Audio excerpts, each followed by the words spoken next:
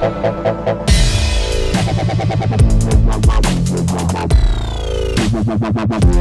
unserem Projekt haben wir Rieta China als Kundschaft gehabt und es ist darum gegangen, ein Ausbildungs- und Trainingskonzept zu erstellen. Our Chinese companies can also build up this apprentice program because um, all of the participants can benefit from this program. Das Herzstück von unserem Projekt ist KATIE-Konzept. KATIE ist die Abkürzung für Chinese Apprentice Training for Improved Excellence was übersetzt Bedeutung hat, chinesisches Lehrlingsausbildungskonzept für verbesserte Spitzenleistungen.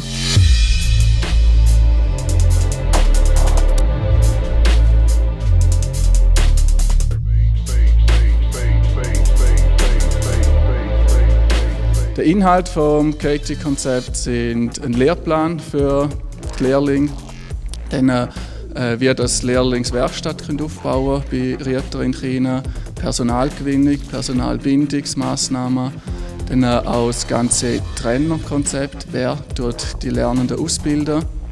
Und natürlich zum Schluss auch, welche Schule soll man berücksichtigen, mit wem zusammenarbeiten und wie tut man das duale Bildungssystem in China, Großraum Shanghai promoten. The most difficult part for me is uh, I'm a student at school. I don't have work experience, so but we have to find uh, some practical solution for our client. That's the most challenging part for me. I achieve a lot, uh, such as I just uh, learn how to cooperation with the, uh, the um, international companies and how to um, bargain with the um, the other teams in the foreign countries, and uh, I also see um, the different cultures.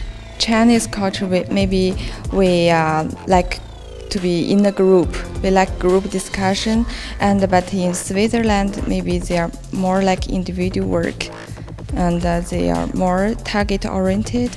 They like planning. I think that's the difference. But we can uh, meld them together. I think it's perfect. Die Nomination ist eine Wertschätzung für unsere Arbeit und es ist darüber hinaus der Beweis, dass sich die harte Arbeit, die wir geleistet haben, der Fleiss und das Herzblut, das wir hineingesteckt haben in die Arbeit, dass sich das schlussendlich gelohnt hat.